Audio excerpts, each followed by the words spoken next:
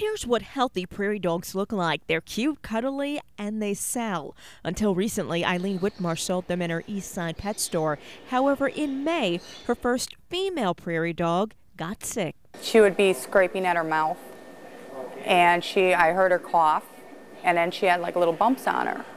So then what uh, we did was we immediately took her and quarantined her away from the public. Whitmarsh was concerned about the animal's health, but her health was in jeopardy. She didn't realize it at the time, but it appears prairie dogs pass their virus to Eileen. It started with chills and a fever, a really, you know, a higher fever, and then it progressed from there with um, a bad cough and within a couple days my lymph nodes got really swollen. In some 16 other cases, doctors suspect prairie dogs passed on symptoms consistent with this monkeypox.